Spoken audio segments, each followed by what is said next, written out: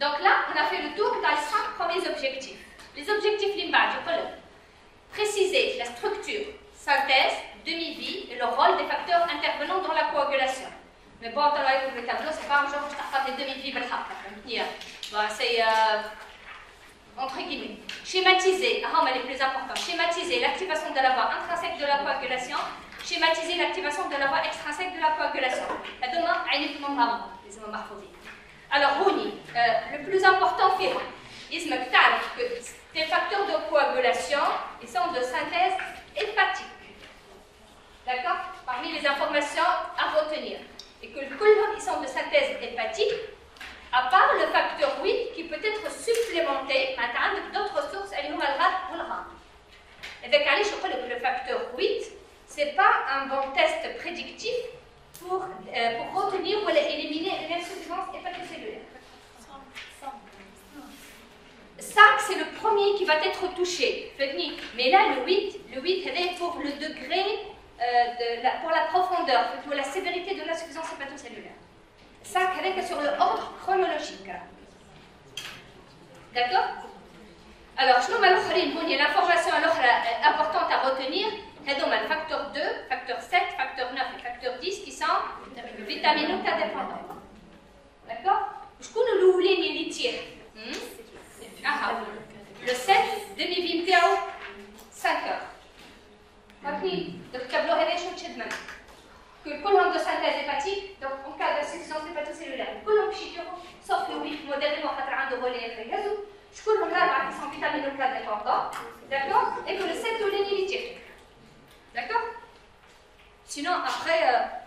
je vois mal je sais comme la demi-vie du facteur 10 قداش ولا هذا شنو ben alors on va la dépasser alors la coagulation c'est quoi le but de la coagulation le démontage primaire on a, on a déjà obtenu notre thrombus blanc notre thrombus blanc doit être consolidé la consolidation je vais le février très bien donc j'ai besoin de ma fébrile d'accord fébrile mais le fébrinogène qui est soluble d'accord et qui va m'aider à transformer le fébrinogène soluble en fébrine insoluble C'est la thrombine. Alors, la thrombine, c'est l'enzyme clé de la coagulation. C'est la protéine clé de la coagulation. D'accord Parce que c'est elle, le produit final, et vous allez voir que c'est elle qui va tout régénérer derrière. Mais quelle que soit la cascade de qui l'a enclenché, une fois que tu as de la thrombine, après elle s'en fout royalement. Et elle va s'auto-activer sa propre formation. Et là, je te la CIBD. C'est quoi la CIBD Une coagulation intravasculaire disséminée, qui est une activation anarchique, non contrôlée, avec une génération excessive de thrombine. D'accord? Une fois que vous avez généré de la thrombine, ben la thrombine, vous allez voir que c'est elle qui va prendre le relais, elle va s'auto-activer et elle s'en fout, je connais peut-être brûlure, peut-être choc septique, peut-être drachno, avec le coup de à la chire, oui, elles sont braves. D'accord? Alors, donc la thrombine, qui va l'activer Donc là, vous avez donc la prothrombine qui va se transformer en thrombine, c'est par ce complexe prothrombinase. Le prothrombinase fait le 10 activé, le 5 activé, le phospholipide ou le calcium. Regarde que le calcium, le calcium, là, j'ai utilisé le clic le citrate pour, euh, pour, l'annuler, ou le phospholipide,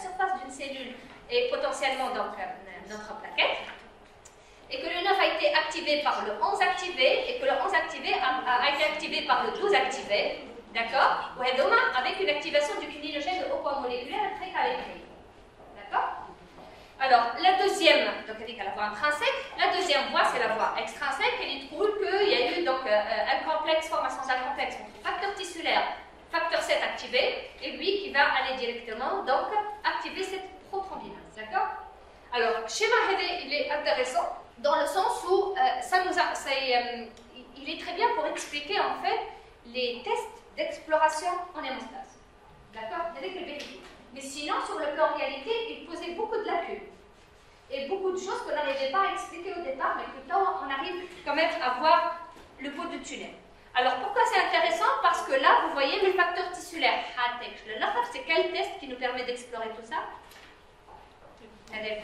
C'est le TP. TP ou temps de pli. On va aller voir en détail. Sauf cette partie et l'école. D'accord? Ça, c'est le TP. Le TCA, c'est maintenant, d'accord? Jusqu'à la fin. C'est ça le TCA. Avec le faire. D'accord Mais comme cette euh, ce schéma-là n'explique pas tout, par exemple, surtout pour les malades qui sont déficitaires en facteur 12. Les malades qui sont déficitaires en clinogène de poids moléculaire, on prête à l'écrit, ça va retentir qu'il de déficitaire ton terme ABC ou elle est. Mm. Donc, il y a le TCA, le temps de céphaline activé, n'a pas allongé ou la normale? Allongé. Allongé, très bien. Mais est-ce que ça saigne? Pas du tout. Mais je voulais un déficit en facteur 12, un 0% de facteur 12. D'accord فما واحد عنده déficit de clininogène au poids moléculaire mais ça ne saigne pas, ça ne fait pas de syndrome hémorragique. Et pourtant تقول لي la cascade هي الكل ما تخدم الا هكا تبدا. Donc il y, a, il y a un problème. Donc on dirait que فما court-circuit فما حاجه اخرى قاعده تدخل et que c'est pas la voie majoritaire. Parce que la voie majoritaire c'est ça la voie majoritaire. من هنا هذه la voie principale. D'accord كمن هكا et puis vous allez voir, que je suis toujours près de cascade, qu'en fait la thrombine, c'est elle qui va activer cette boucle-là. Elle s'en fout, mais les compagnies de Elle s'en fout, mais difficile, mais 11, mais 12, mais Quelle mangeudine je mangeudine, elle s'en fout. D'accord? Alors, donc, le facteur tissulaire, le complexe avec le facteur tissulaire qu'on a l'année, mais également, vous voyez qu'il est capable d'aller directement activer cette voie-là, indépendamment des facteurs informels. Alors, je n'ai le thrombine, là ça y est, te l'ai Donc, quel qu'on soit par mode intrinsèque ou la paroi intrinsèque, il y a eu une première génération de thrombine, les premières traces de thrombine. Alors là, on est, rappelez-vous, à la surface de la plaquette. Plus la plaquette, elle relate peut-être la thrombine, elle est en alcool. Alors, je vais la thrombine, elle va activer, elle va s'activer, je le complexe thrombine, elle va aller directement le facteur 8, elle va l'activer, d'accord? et puis elle est capable de تطلع لي directement حتى الفاكتور 11 أنا اكتيفي وناقصه une autre voie أنا هي alors la thrombine la thrombine une fois qu'elle est générée قلنا la thrombine خدمتها شنو باش تمشي للفيبرينوجين soluble تردوا لي فيبرين insoluble هكا ولا on libérant les fibrinopeptides A et B la thrombine elle va activer le 5 ترجع elle m'active le 8 ترجع elle m'active le 11 mais عندها حاجة أخرى elle active واحدة أخرى très bien le facteur 13 la thrombine تجي le facteur 13 elle le stabilise هذايا زاده elle donc elle consolide le poids هذايا تمشي le 13 d'accord donc vous voyez بعد عندنا diapo فيها donc regardez la thrombine elle joue un rôle procoagulant majeur fait fibrinoformation puisque c'est elle qui va transformer le fibrinogène en fibrine insoluble d'accord elle va activer, donc euh, elle va agir sur le 13. Elle le feedback positif, elle, active sa propre formation 5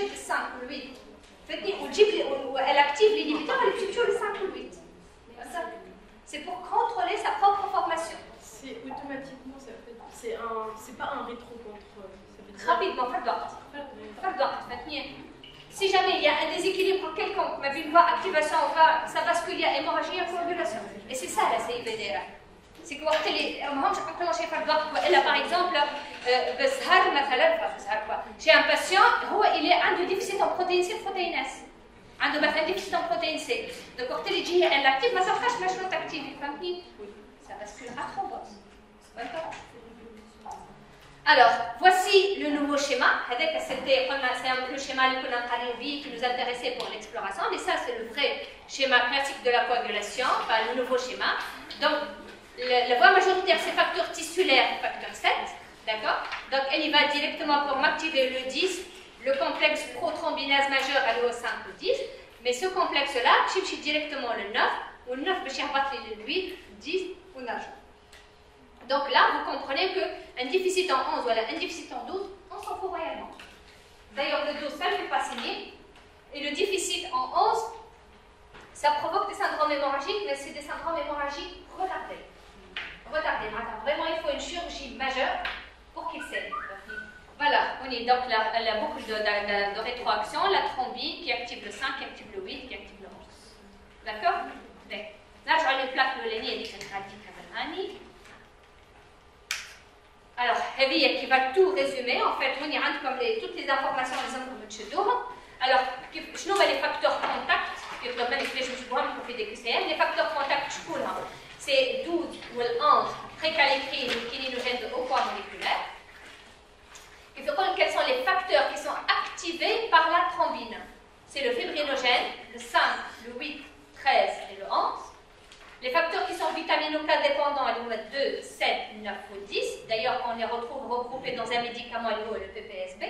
C'est un produit, enfin c'est un produit sanguin, d'accord Alors, les phospholipides anioniques, tout ce qui est phospholipides, oui, c'est essentiellement à la surface des plaquettes. C'est pour ça que la cascade tire à la surface des plaquettes, mais également bon, à la surface des globules blancs ou des globules rouges ou des cellules parfois. Il y a comme relais donc, pour la cascade de coagulation on a besoin de calcium et puis on a besoin donc du facteur tissulaire euh, qui sera remplacé sur les tests in vitro par de la thromboplastie.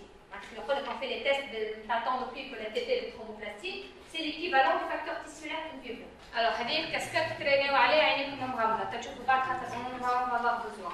Après, l'objectif 9, l'objectif 10, il décrire la fibrinoformation et son exploration, expliquer le rôle de la fibrinolyse. Alors, c'est quoi la fibrinoformation Alors, comment on va partir à partir du fibrinogène D'accord Alors, le fibrinogène, c'est quoi le fibrinogène le fibrinogène. Vous avez trois chaînes qui sont reliées deux à deux, chaîne alpha, bêta, gamma. Et là, vous avez les fibrinopeptides A et B. شفت هذوما هذوما الفيبرينوبيبتيد A et B تخش عليهم سابويت مركبين لهم جواندويت لهنا ايماجين جواندويت بالعالم باش الفيبرينوجين يلصقوا مع بعض donc vous devinez qu'en fait la thrombine شو باش La thrombine الخدمه نتاعها c'est que باش تطيرهم لي.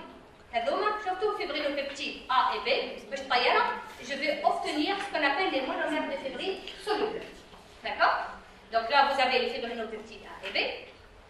Après il va y avoir une polymérisation chez Cette polymérisation n'est pas stable. Alors pour la stabiliser, il y le facteur 13. Et qu'est-ce qu'il va faire le facteur 13 va créer ces liaisons indestructibles qui vont après changer les stigmates des liaisons Très bien, c'est les dédimères. D'accord? Alors, donc là, vous avez le fibrinogène. Nous taillons les fibrinopeptides A et B, c'est-à-dire que mettre la thrombine. D'accord? Donc après, en dosant les fibrinopeptides A et B, j'ai une idée, c'est un marqueur indirect par rapport à la formation donc, de monomères de fibrine Il va y avoir une polymérisation, mais cette polymérisation, elle est réversible. Quand ça y est, quand le facteur 13 le facteur 13, vous avez la, la, symptomatologie hémorragique des déficits en facteur 13, elle est très spéciale. Il faut que c'est une chute précoce des croûtes. مثلا الواحد كيف يتجرح يعني يعمل هيك البروميير كروت لا بروميير سيكاتريزاسيون يعني فتح فيه اش معناتها؟ Ça veut dire que هو الكاسكاد دو كواغولاسيون عملها الكل et que ça y est معناتها عمل حول الفيبرينوجين نتاعو en فيبرين داكور عملوا لا بوليميريزاسيون مي هذيك اللي انستابل ça تتحل فهمتني؟ خاطر ما عندوش فاكتور 13 il est déficit en facteur 13 donc il n'a pas pu stabiliser la formation de fibrine نتاعو donc puis ça تحل il s'est remis assez vite d'accord alors la fibrinolyse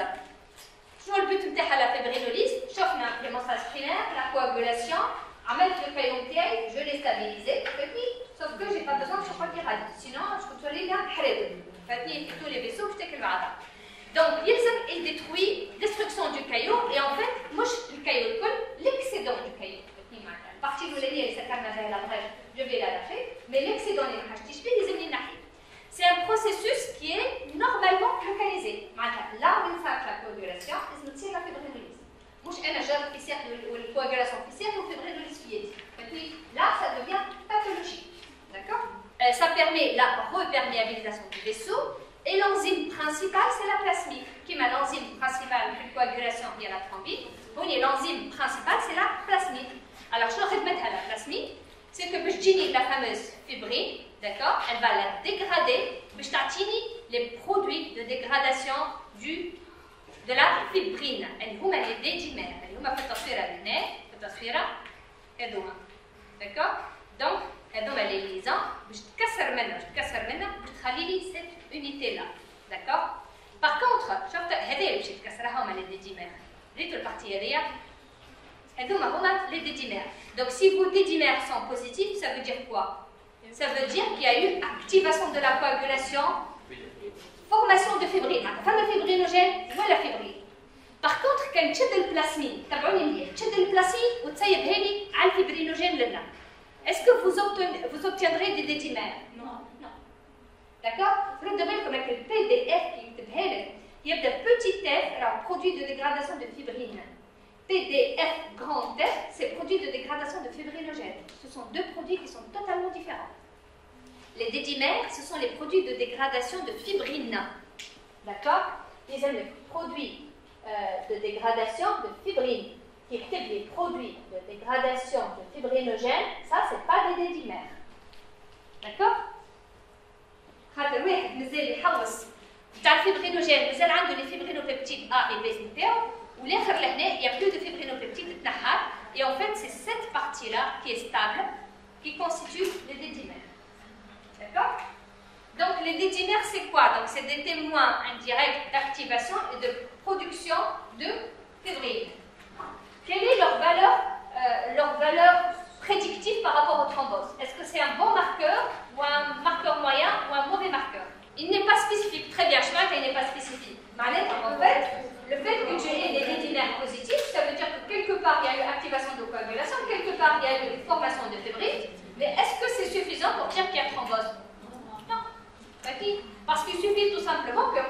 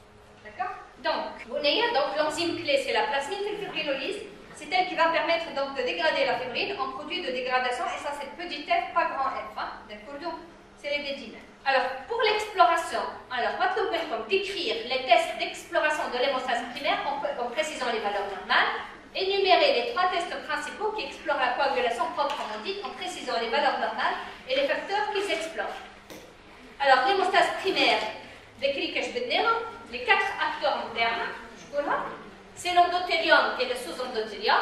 Donc, comment on les explore? Ton enseignement n'explore pas vraiment l'endothélium.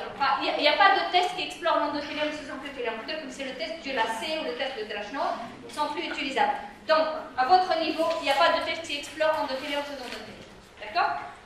Plaquettes, comment on les explore? Libération plaquettaire. Et éventuellement à l'hypométrie ou à la cytométrie. Les deux tâches de Facteur vent vibrante. Dosage. Dosage fonctionnel et dosage quantitatif, fibrinogène. تنسيق chez les fibrinogènes. ديما يحصل فيه خاطر شفت البروميير بارتي chaque fois que كل مره حكينا hémostase primaire نحكيو plaquette, facteur non vibrant, plaquette, facteur non vibrant, alors que le fibrinogène, qui est le substratum de la coagulation, mais c'est un acteur principal de l'hémostase primaire. D'accord Donc, euh, quand vous avez le taux de fibrinogène qui est dans les chaussettes, les vous êtes ne peut pas suivre. Donc, l'exploration globale.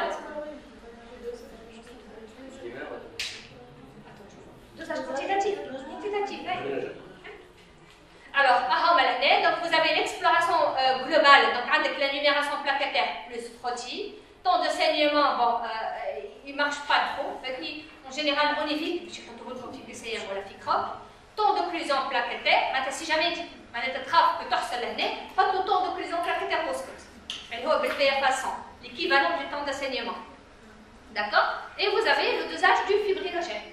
Le bilan d'hémostase et permet d'article fibrinogène entre 2 et 4 grammes. Ça, c'est un dosage fonctionnel, c'est un dosage quantitatif. D'accord Donc ça, c'est l'hémostase primaire. Alors, donc, c'est les examens, donc exploration routine euh, de tous les jours. Mais après, à viser diagnostic, maintenant, si je suspecte une thrombopathie, qu'est-ce que je fais Comme l'étude agrégométrique des fonctions plaquettaires, comme cytométrie en flux et l'exploration du facteur environnement.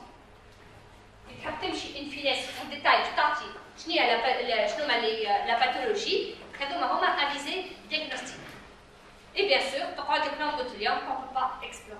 Quelque part, si on a une pathologie de l'hémostase primaire avec un syndrome hémorragique particulier, que dire le syndrome hémorragique dans l'hémostase primaire euh, Le syndrome hémorragique, euh, le caractéristique qui vous oriente vers une anomalie de l'hémostase primaire.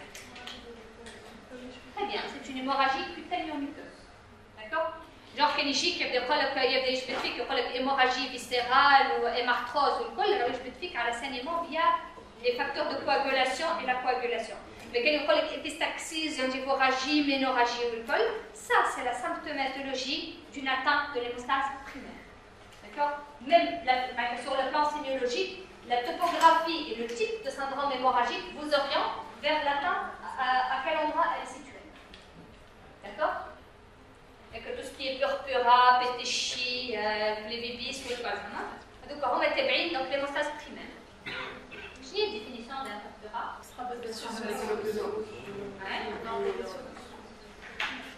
بعد بعد qui ne se passe pas et les pétichis C'est des tâches fortiformes, pareil, qui ne se passent pas à la compression. D'accord? Donc là, c'est l'exploration de l'hémostase primaire. Vous avez les tests de routine donc, numération plaquettaire, le, temps de prise en plaquettaire, dosage fibrinogène, avisé diagnostic, la glycométrie, cytométrie, exploration du facteur de D'accord? L'endothélium, on ne l'explore pas. Maintenant, pour l'exploration de la coagulation, alors, la coagulation, y a une cascade donc, de facteurs et que كل série a les tests spécifiques Alors, le temps de quick, le temps de quick, alors, alors là, vous voyez, donc comme la voie extrinsèque fait un facteur tissulaire et facteur 7. D'accord Voie intrinsèque fait un facteur 12, facteur 11, facteur 9, facteur 8. Je vais traiter la prothrombinase. Je fais la prothrombinase. Très bien, fait 10 ou 5. D'accord? Trombine l'année. Et puis vous avez la trombine et vous avez le 1. D'accord? Ben, Donc, si jamais euh, moi je, je, vais utiliser le TP, le temps de thrombo, euh, le, le, taux de thromboplastie, d'accord? Alors il va m'explorer toute cette voie al facteur 7, al facteur 10, 5, 2 et 1. D'accord? Le TCA, le temps de céphaline avec activateur, c'est le 12, le 11, le 11, le 9, le 8, le 10, 5, 2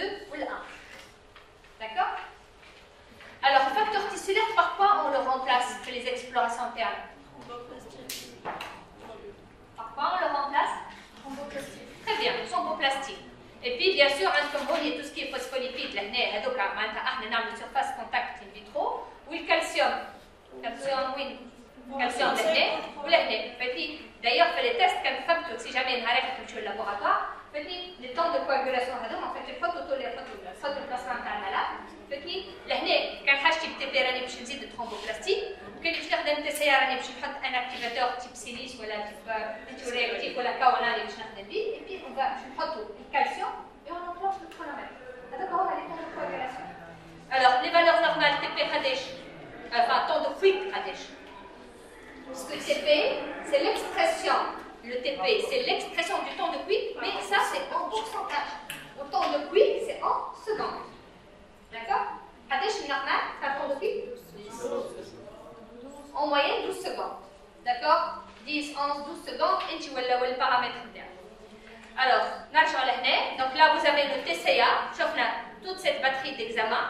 plus elle est à la voie commune. Le temps de cuite, c'est le sec, plus la batterie commune.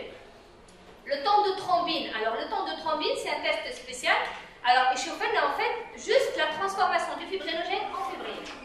D'accord? Juste la partie hélique. Ok?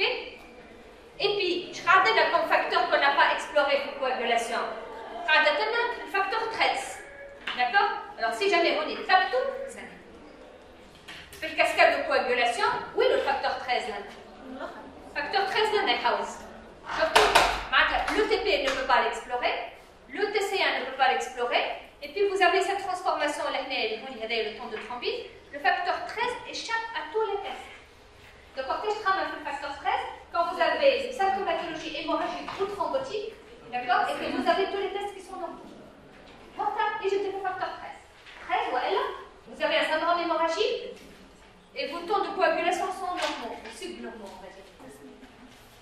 فيبرونت تجيب الفيبرونت فما فيبرونت يجيبهم لك كلهم نورمال فما فيبرونت يجيب التي سي ا وعلاش تي سي ا فتعرف الفاكتوريز فهمتني يحسن الفيبرونت فيه دي فاريونت يعطيك الانجمون دو تي سي ا فيه دي فاريونت يجيب هي القطرات فهمتني والفيبرونت فما فيبرونت اللي يعطيك نيميراسيون باكيتات كوريكت فما فيبرونت يعطيك ترومبوبيني اللي هو لو تيب دو بي mais ça ne fait pas partie de vos objectifs donc ما تجوجوش فيه فهمتوا si mes tous mes tests sont normaux si les populations sont allongées شكون l'acteur principal house il faut pas كل شيء يصير si ça saigne et que tes facteurs les temps de sont subnormaux pensez au plaquettes vous devez quand même c'est des acteurs principaux une anomalie معناتها ينجم من نعطيك un taux de plaquettes à 25 000 ça te fait un syndrome hémorragique mais quand تعمل لي بيلون تعدي لي بيلون de l'hôpital تجيب لي تي بي تي سي ستريكت نورمال خاطر دوك على واحد et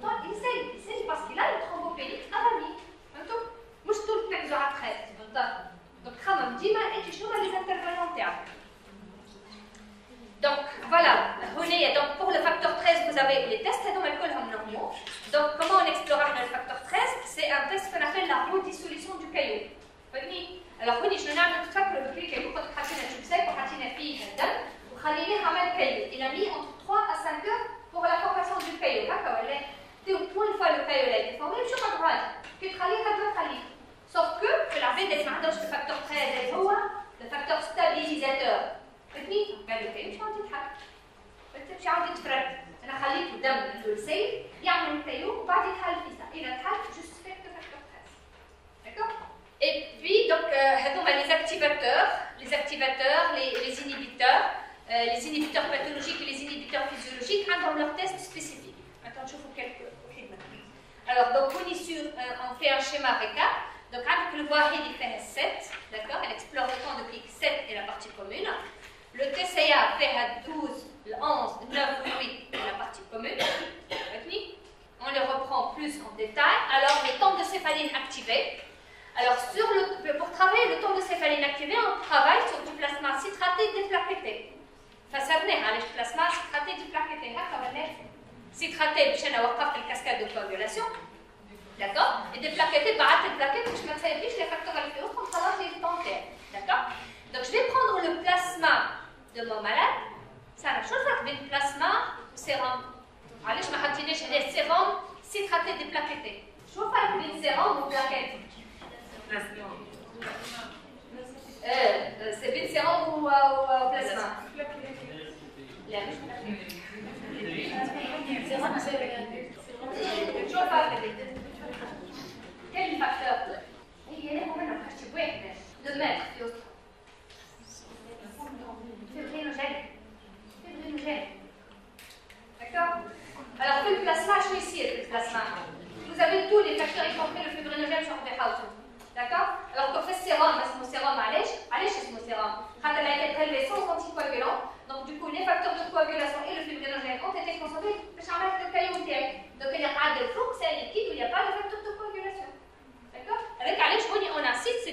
plasma, ما tous les facteurs de coagulation Donc, je n'ai sur du plasma citraté déplaqueté. Maintenant, je vais mimer avec les cascades de coagulation terre. Donc, vous avez la céphaline, l'équivalent du phospholipide. Vous avez un activateur sur la céphaline hein, avec le phospholipide. Activer, vous avez ou la silice, ça dépend un ou en fait, ou la finalité, je ne peux pas plus du calcium. Alors, le temps normal sera exprimé en secondes. et la moyenne, elle varie entre 35 à 40 secondes.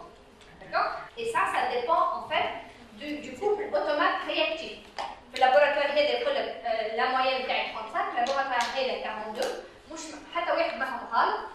Ça dépend des réactifs اللي يستعمل فيهم. وذاك علاش en fait pour s'exprimer et pour pouvoir se comparer entre laboratoires ما عادش نحكيو على valeur malade كهوا زدنا نحكيو valeur malade par rapport à un témoin et c'est le ratio qui vous dit que c'est allongé ou non allongé. معناتها غدوه ما تجيش تقول لي ما جاي باش نحكي لك باش نقدم لك un dossier d'un malade qui a un TCA à 45 secondes 45 secondes par rapport au laboratoire اللي خدمت عليه اللي هو التيموان نتاعو à 43 secondes 43 et quand je fais je vais faire donc le rapport malade sur témoin 45 à la 42 ça ne dépasse pas 1,2 donc c'est pas un temps allongé il n'y a rien à explorer par contre, 45 secondes par rapport à mon témoin qui est à 30 secondes, là vous voyez qu'il y a une grande fourchette et que le rapport sera supérieur à 1,2, donc il y a un écart entre mon malade et mon témoin normal, donc il y a un allongement, il y a exploration. D'accord? Donc Dima, on a le droit de parler d'allongement d'un temps de céphaline activé que lorsque le rapport malade sur témoin est supérieur ou égal à 1,2. D'accord? Comme ça, je m'en fous des valeurs d'un témoin Attini, le, le, rapport interne supérieur à 1,2, il y a un allongement du TCA, il y a lieu donc. Alors, on rappellera les facteurs, le 12, le 11, le 9, le 8, le 5, le 10, le 2 et le 1. Et bien sûr, je connais le 7 ou 13. Ils ne sont pas explorés par le. D'accord?